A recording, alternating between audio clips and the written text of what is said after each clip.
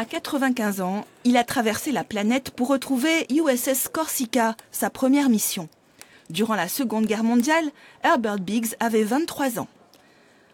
En 1944, la Corse vient d'être libérée et sert de porte-avions aux forces alliées.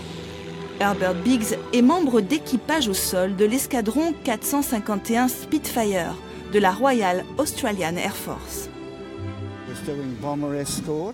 Nos Spitfire escortaient les bombardiers et nous attaquions certaines missions avec nos avions, et ce jusqu'à la fin de la guerre dans le sud de la France.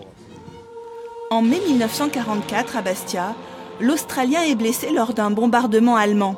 Neuf de ses coéquipiers trouvent la mort. Cette nuit-là, j'ai véritablement battu des records. J'ai dû courir 200 mètres pour aller me protéger dans une tranchée. Il y avait des bombes, des coups de feu, du bruit. Aujourd'hui, la cérémonie de commémoration de la victoire lui rendait hommage.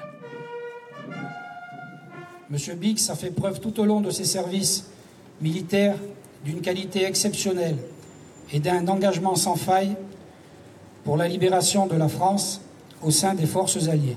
Après Ajaccio, le vétéran australien se rendra au cimetière américain de Bigouille pour rendre hommage à ses amis.